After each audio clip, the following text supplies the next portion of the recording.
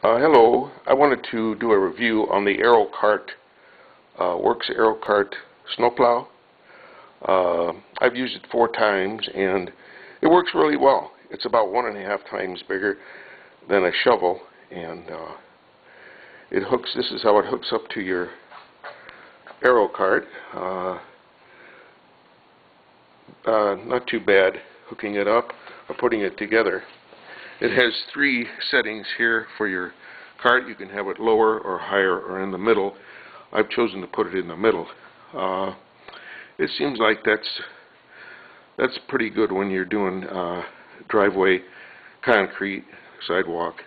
It also has this metal uh, scraper here, which uh, uh, does a real good job. Um, with the, with the tires and the wheels, uh, you can handle it very well.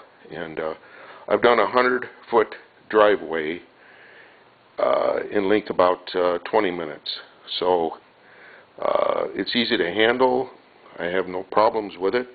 Uh, it does up to probably 46 inches of snow with no problem.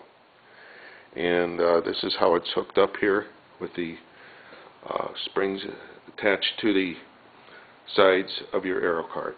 Uh, as far as uh, giving it, I would give it at least, I would give it five stars, no problem.